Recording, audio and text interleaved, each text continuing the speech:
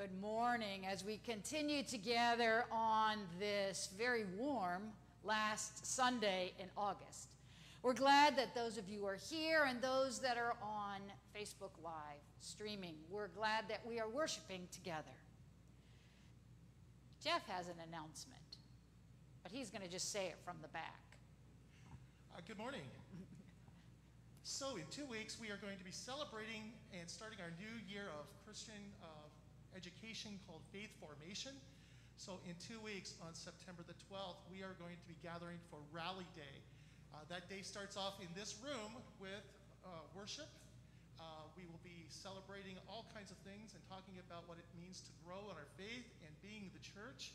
And then afterwards, we invite you and your friends. We really hope that everybody comes out because after worship, we are going to be going outside to the pavilion we will be grilling hot dogs, we have snacks, we have games, we have all kinds of things that are going on. One of the things I've done over the years uh, as a director of camps and working with VBS and those kinds of things is, the, is tie-dyeing t-shirts. Something that people of all ages love and kids love especially, so we are going to be tie-dyeing t-shirts. So whether you are one year old, six months old, 97 years old, whatever, we invite you to bring a cotton, white cotton t-shirt. We may have a few here as well for those who forget theirs. Bring those. We're going to, we're going to tie-dye shirts together. We're going to have a good time. We're going to be the church. We're going to celebrate.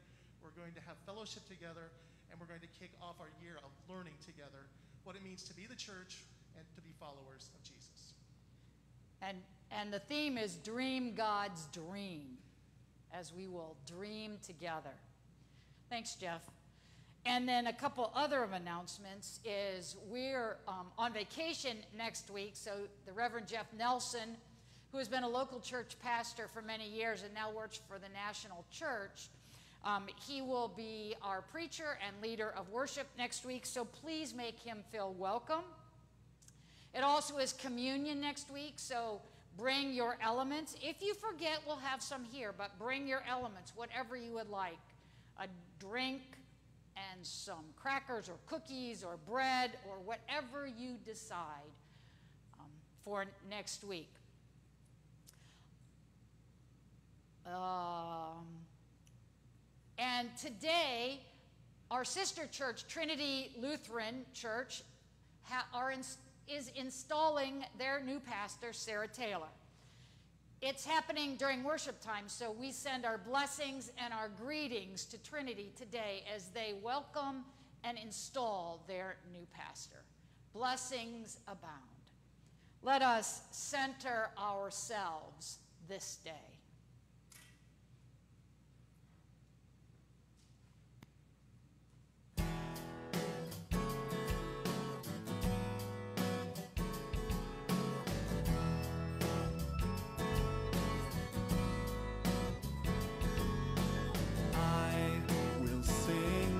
有大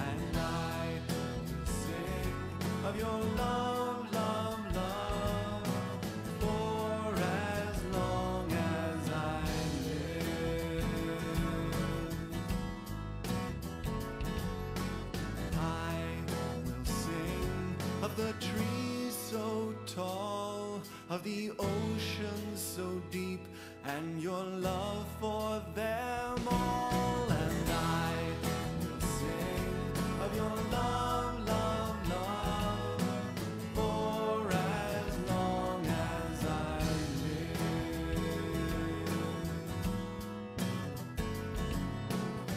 Your love is stronger than the mountains, soaks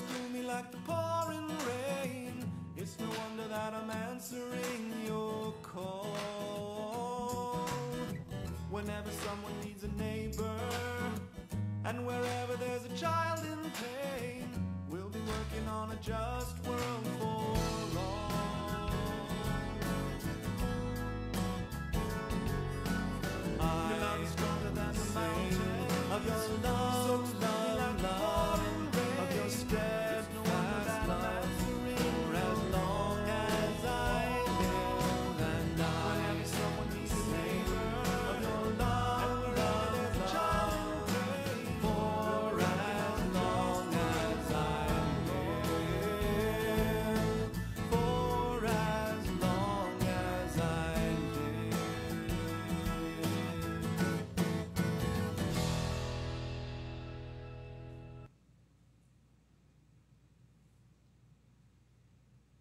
If you're able and willing, will you stand and join me in our call to worship, which is adapted from the Song of Solomon?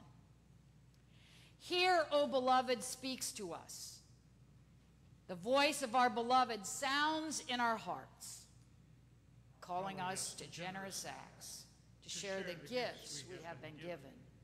Now, our beloved speaks to us.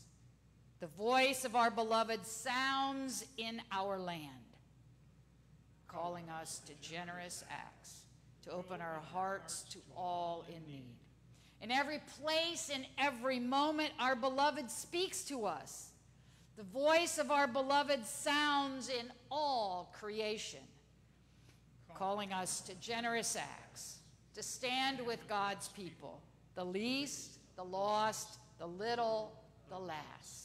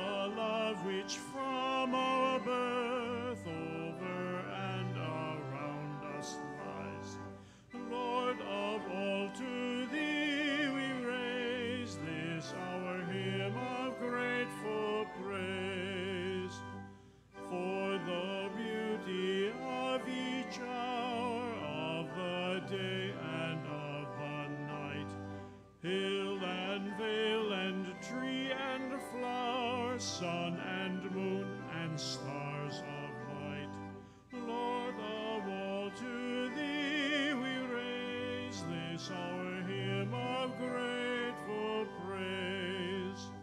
For the joy of ear and eye, for the heart and mind's delight, for the mystic harmony, linking sense to sound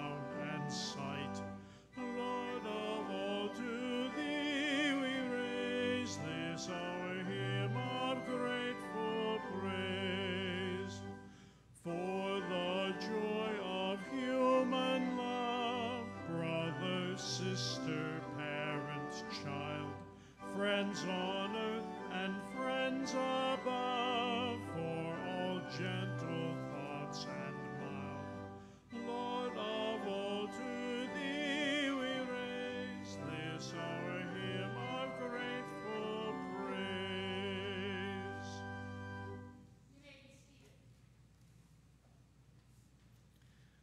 Deuteronomy 4 1 through 2, 6 through 9.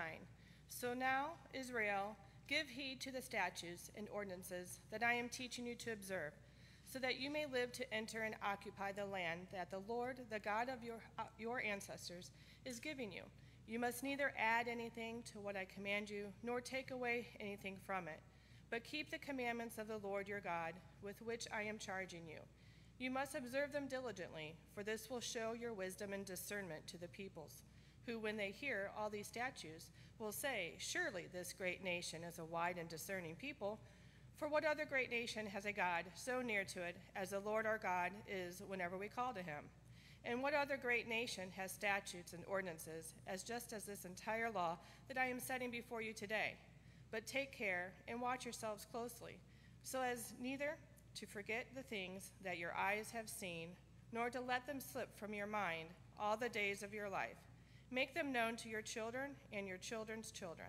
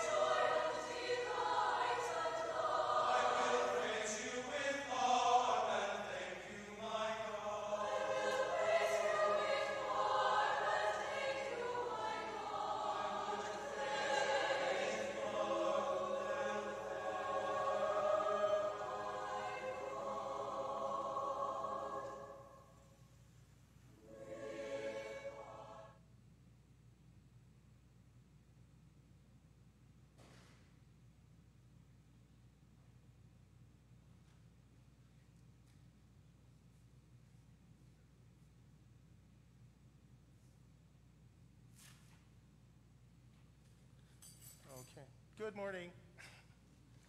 So we are learning back in the back how to do the screen, so we, we're good. So, you can turn me on, Anthony. Oh. I'm on? All right. So today I have the honor of doing some children's time, um, and I don't see a lot of children here. But I'm hoping that there are children at home right now, because I want to talk a little bit about something that Mindy is going to be preaching about. And that's from a letter of James talking about the church. Now, James is not someone that we talk a lot about, but James is the brother of Jesus, and he had concerns for the church, and he wanted to tell the church some things about remembering who you are and what you need to do. He talked about hearing God's word, and when we come together, we hear God's word. We come here on Sunday mornings, we hear God's word. We have, Jane just shared from Deuteronomy, we heard God's word. In a little bit, we're going to hear from James. And when we hear God's word, we need to do something with that. We need to actually do something. Don't just listen, do. We are called to serve, and we're called to listen to those words and those teachings from the Bible and from Jesus. So I was thinking, what's a good way to illustrate what it is we do with words? So when we hear something, we really need to do it, right? So when you were a child, and some of you still are children, and your mom says, I really would like you to do this for me. And how often did you say, Sure, I'll do that? My mom asked me to take the trash out all the time. How often did I get that trash out? Well, sometimes I had to be reminded a few times. And the church is that way too. We have to be reminded. And so when we hear something, we're given some instruction, we're asked to do it, to follow up, to show that we actually heard it. So, I have something here that's really special to me. I try to drink this stuff every morning. I have a glass, and I have some milk. And imagine that we are a glass of milk. It's a pretty good sized glass of milk, isn't it? I'll try not to spill that. So sometimes when God talks to us, we want to take in what we've heard and what we've learned. So I've got some Hershey syrup, which is really good stuff. I guarantee it highly. I drink this stuff all the time in my milk. So, this is God's word, and this is us. So, let's imagine that God is speaking to us. I'm going to put some, some of this good stuff in here. Oh, lots of it. Is that enough? No. No, more, more, more, more. You can't have enough of God's word. All right, so now we have God's word in this. What do I do with this? I drink it? What? Stir it. Oh, so I have to actually do something with the word that comes in me. Good thing I have a spoon. So we're going to stir that up. And oh, look at that. The milk is changing. And I guess that when we hear God's word and we put it into practice, we have to stir it up a little bit. It has to become a part of who we are. I think last week we heard the word infuse, which is a fancy word for saying it needs to be a part of us. And so we have this wonderful changed glass of milk. It's now chocolate milk. But it reminds us that we're just like this glass of milk, and when God fills us, we need to stir it up a little bit. We need to make it a part of who we are. And then we get to celebrate and share that with others. Well, I'm going to take this glass of milk with me. Um, I probably will drink it myself. So, but let's thank God for all the things that we have been taught and all the ways that we can put those words, those teachings, in actions. Let's pray. Dear God, we thank you for your teachings. We thank you for people like James, who wrote uh, letters to the church, who taught stories, who reminded us of the things that you teach us every day. That we are to be filled with love and share that love with others, to live it out. That when you give us good things, we need to stir that up in our lives so that can make the lives of those around us even richer and more wonderful. We thank you, God, for this day for being the church, and for all the good blessings that you give us. In the name of Jesus, who teaches us and loves us and gives us gifts to share, we say together, Amen. Thank you.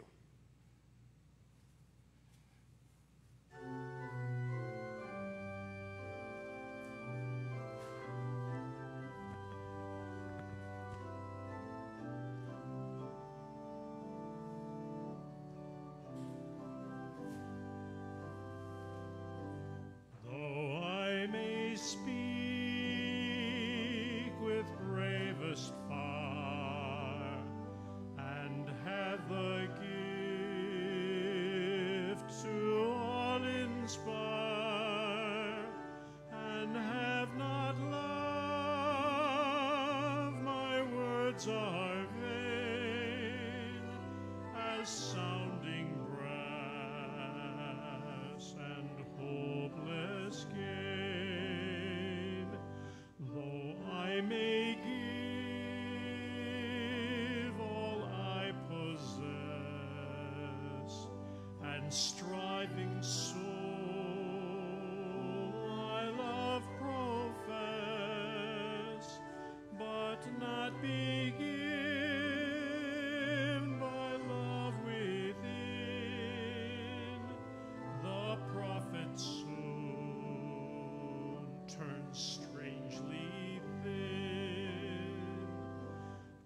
Spirit, come, our hearts control, our spirits long to be made whole. Let inward love guide every deed. By this we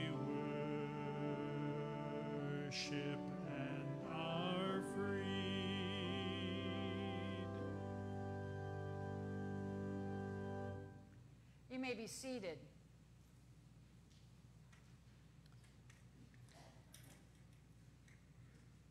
The scripture comes from James, and there are lots of paraphrases and translations of the Bible. In your bulletin and in the pews, we have the New Revised, New Revised Standard Version.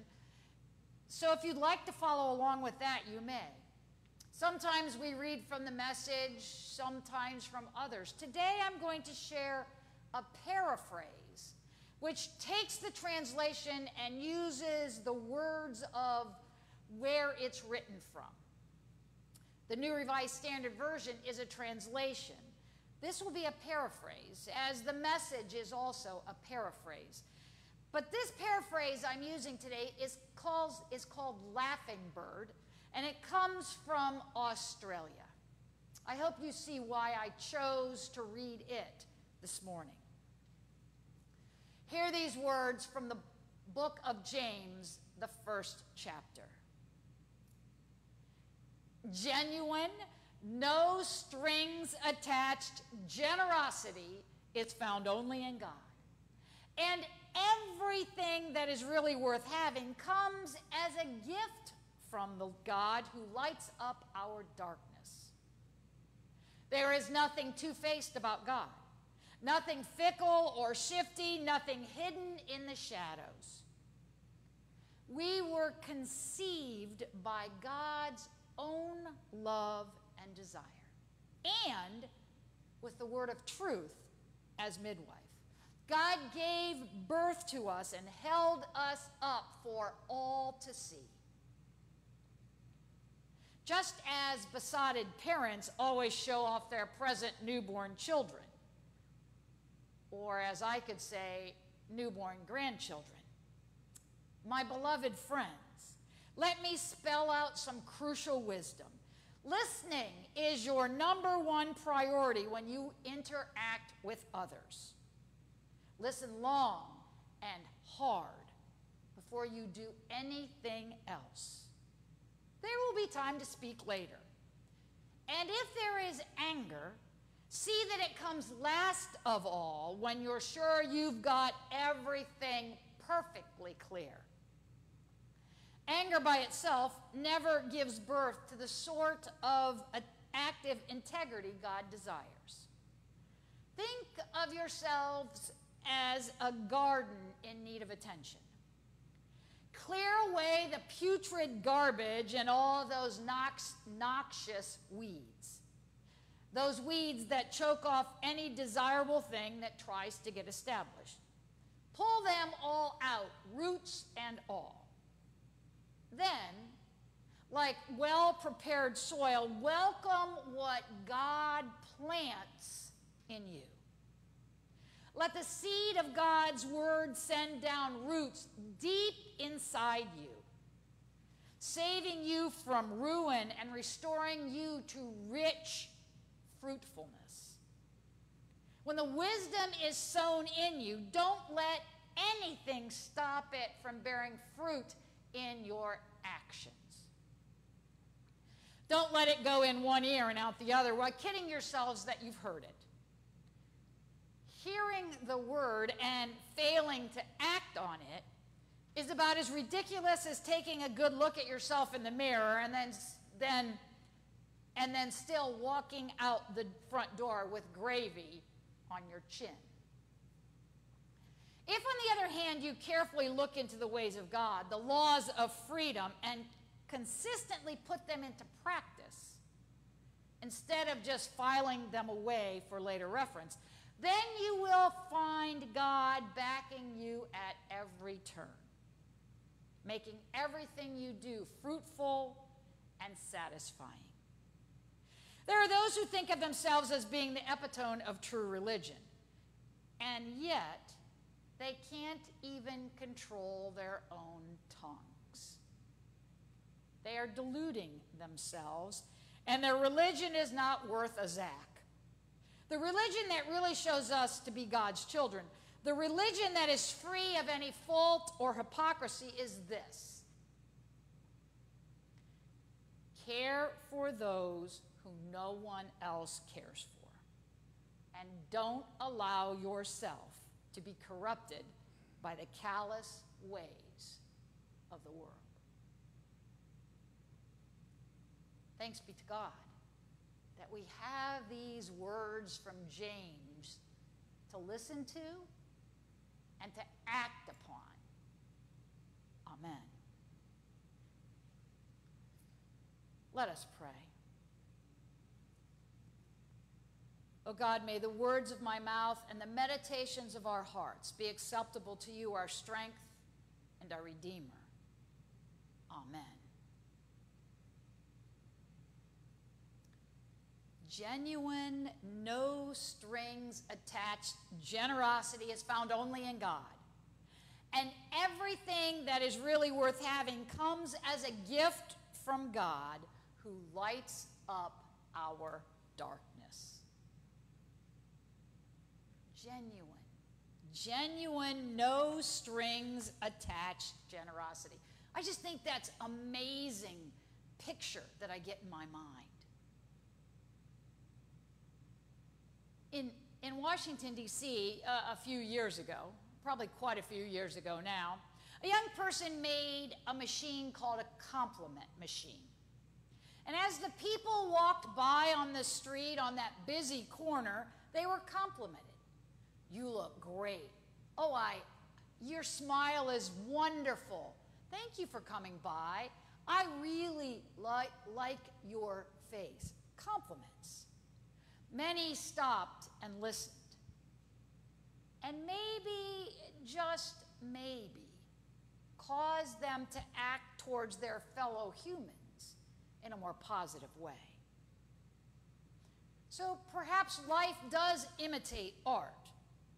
If we're able to slow down and to take the time to listen to positive words, they can have an effect on us.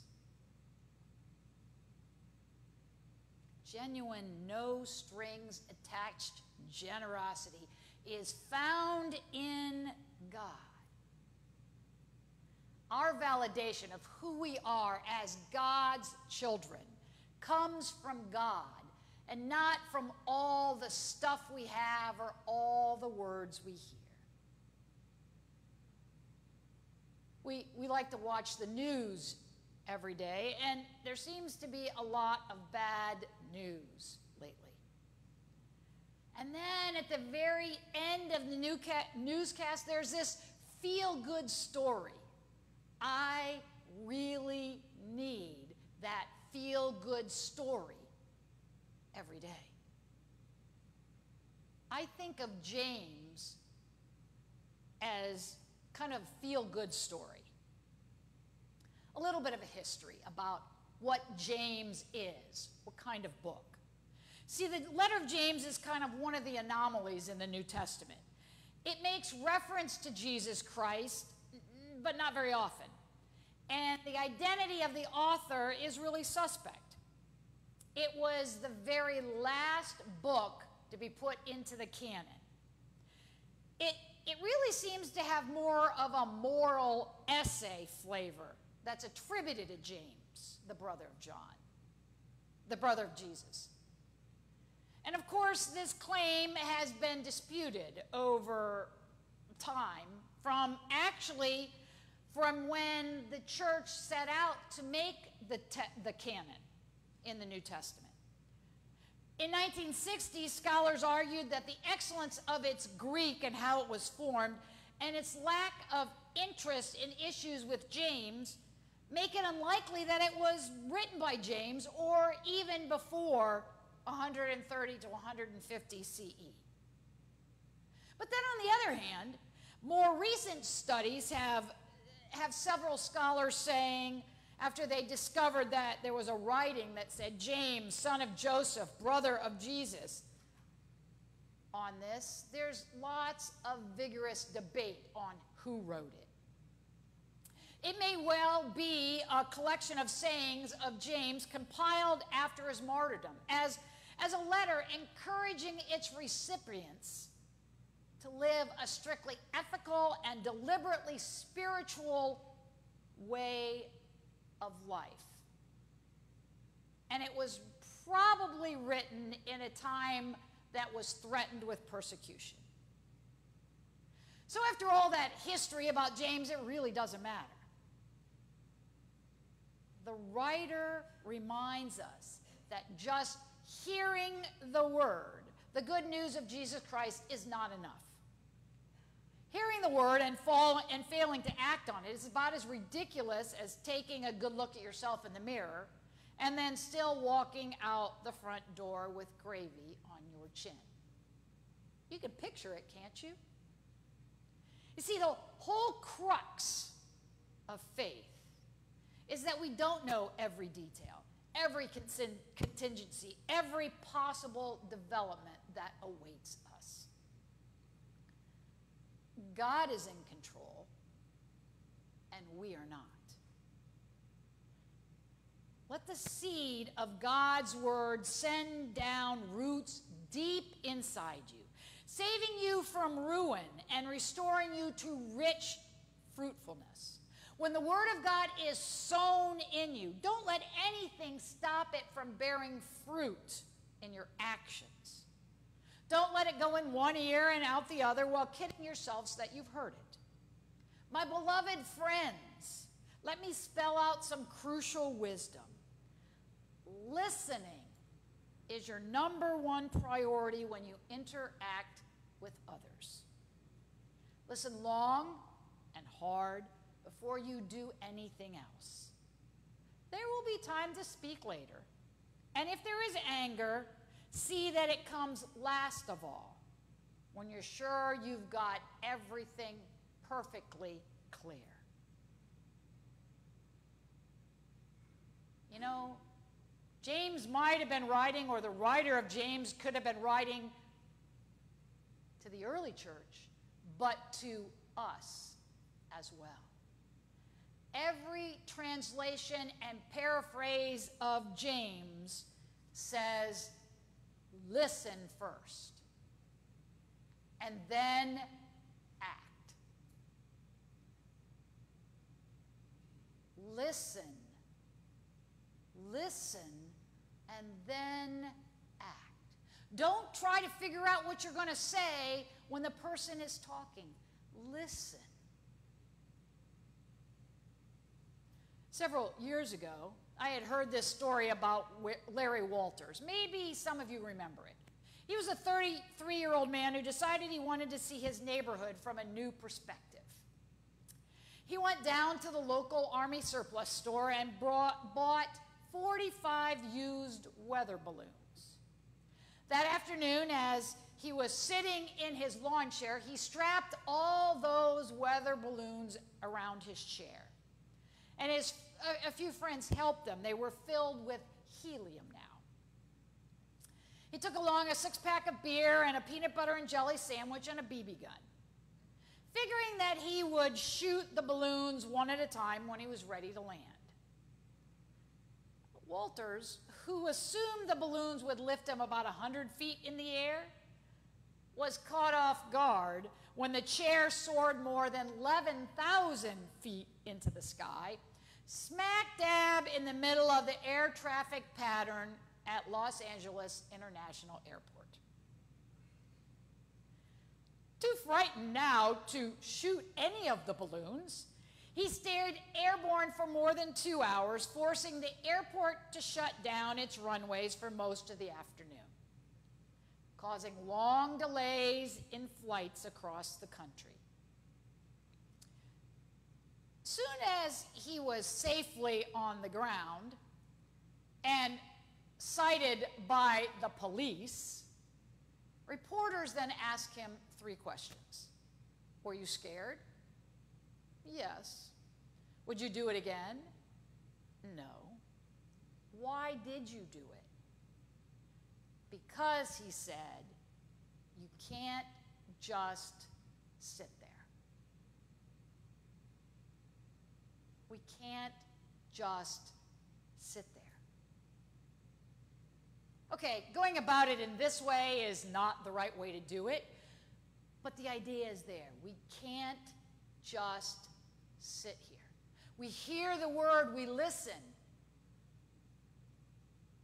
God is holding us, but we can't just sit here. Open your hands, feed the hungry, clothe the naked, buy school supplies and hand them out for free. Drive someone to an appointment, bring in food, take care of God's world, recycle, don't litter, pay attention to global warming, wear a mask, get vaccinated, listen before you speak. Don't just sit there. The religion that really shows us to be God's children, the religion that is free of any fault of hypocrisy, is this care for the poor, care for those who no one else cares for, and don't allow yourselves to be corrupted by the callous ways of the world. There's a meme that's been going around that, that talks about what it means to be passive, to let, to let the preacher, the choir, the organist, everyone do something for you. Passive, being passive, receptive, not active. It, it makes church a place where we come sit or we come stream online and we say, okay, preacher, choir, organist, do it for me. Fill me up. But the test for good worship, the mark of a good church or a, a church that is following in God's way is not what we do here during this hour of worship, although this is important. It's what we do outside the rest of the week. We hear, we, we learn, we are taught. And then, what do we do with what we heard outside the rest of the week?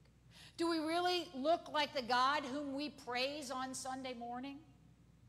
Have the songs and the prayers changed us? Have they made us into something that we prof- profess? This is the test, James says. The sermon ends, worship ends. And the test for a sermon, my friends, the mark of whether this is a good sermon or a good service of worship is about to come upon us. You've heard the text, you've heard the sermon, you've heard the prayers, you've thought and been here and listened. But being in agreement or even not agreement and understanding are not the problem. The issue is now before us as we go out into the world. The final question What will you do? What will we do with what has been said and heard and prayed about today? Pastor, that was a wonderful sermon said the parishioner at the door after the service. The preacher said, that remains to be seen. Amen.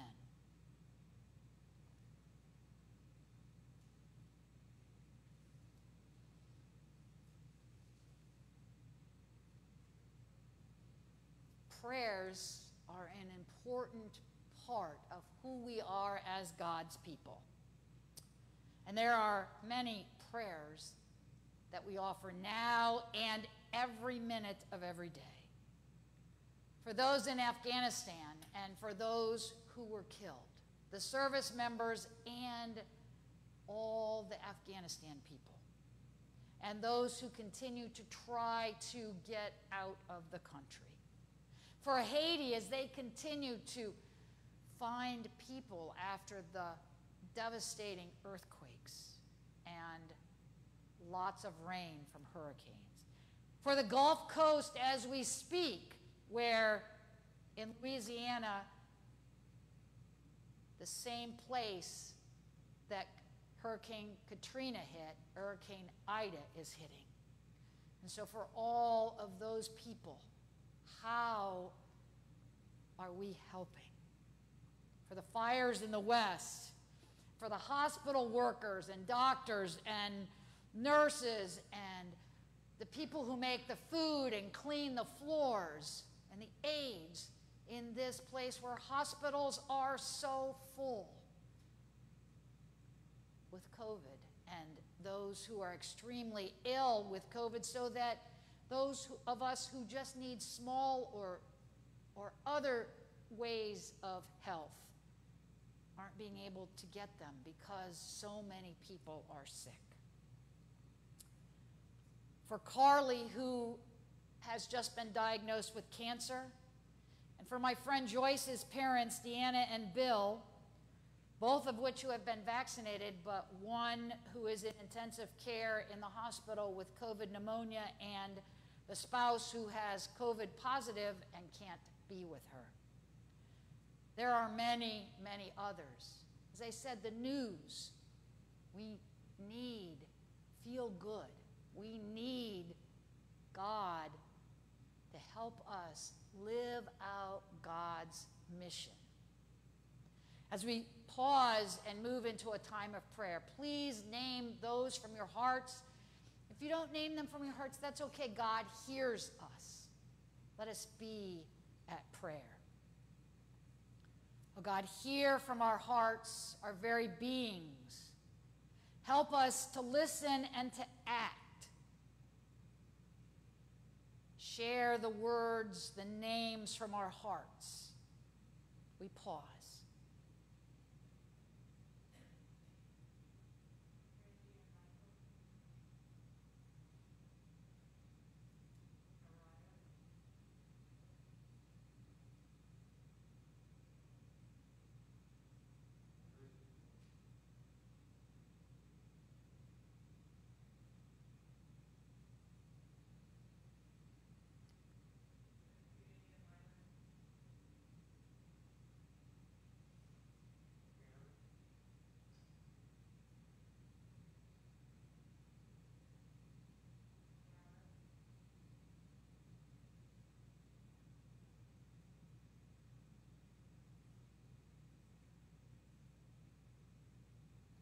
I'm listening.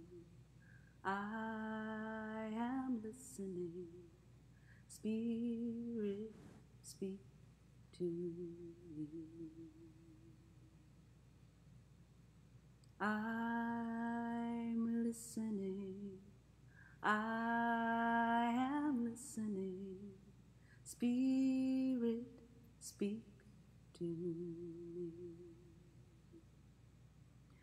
ears are wide open. My eyes are now open to see what I may be.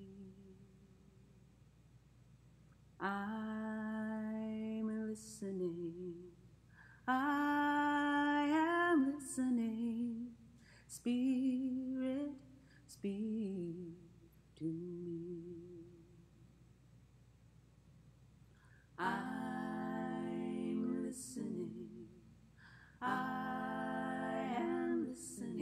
Moment of Spirit speaks to me. I can hear the voices of all my kind. I'm listening, singing. I am listening. The sweet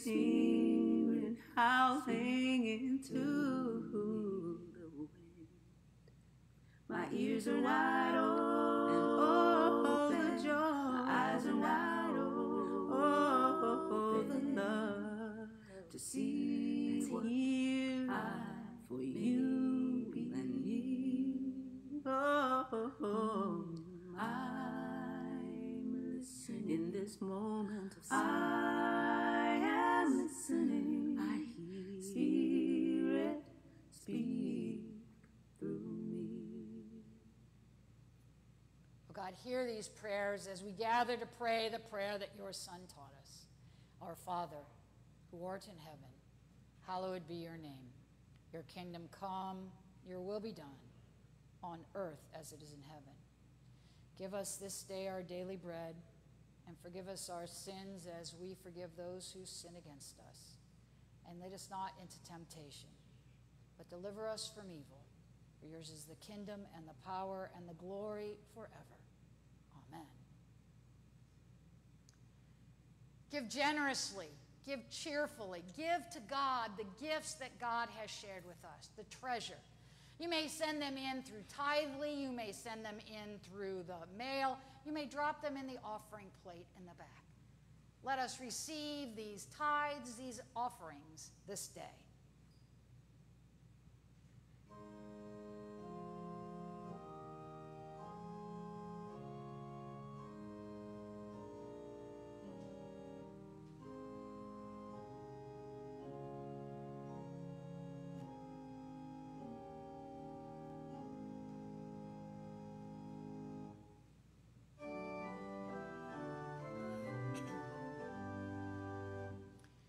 Praise God from whom all blessings flow.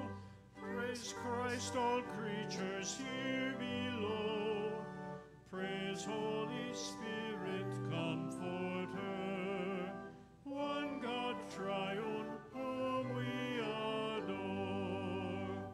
Amen.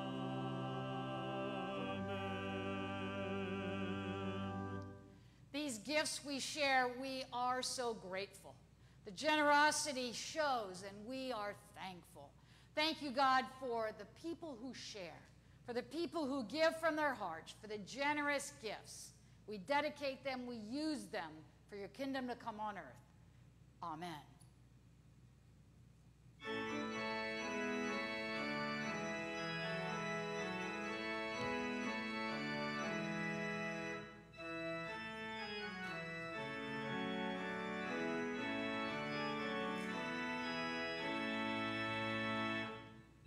Sing your mighty power, O God, that made the mountains rise, that spread the flowing seas abroad, and built the lofty skies. We sing the wisdom that ordained the sun to rule the day. The moon shines full at your and all the stars obey. We sing your goodness, sovereign God, who filled the earth with food. You formed the creatures with your word, and then pronounced them good. Oh, how your wonders are displayed where'er we turn survey the ground we tread, or gaze upon the skies, there's not a plant or flower below, but makes your glories known. And clouds arise and tempests blow by order from your throne. While all that borrows life from you is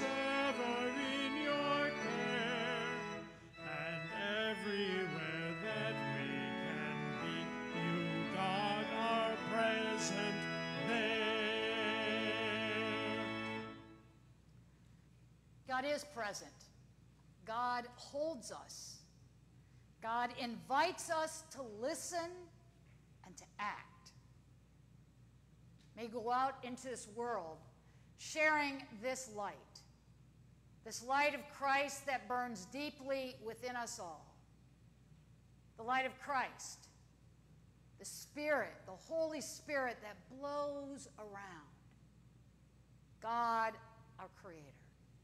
So let us go with the grace of our Lord Jesus Christ, the love of God, and the communion of the Holy Spirit be with us now and forevermore. Amen.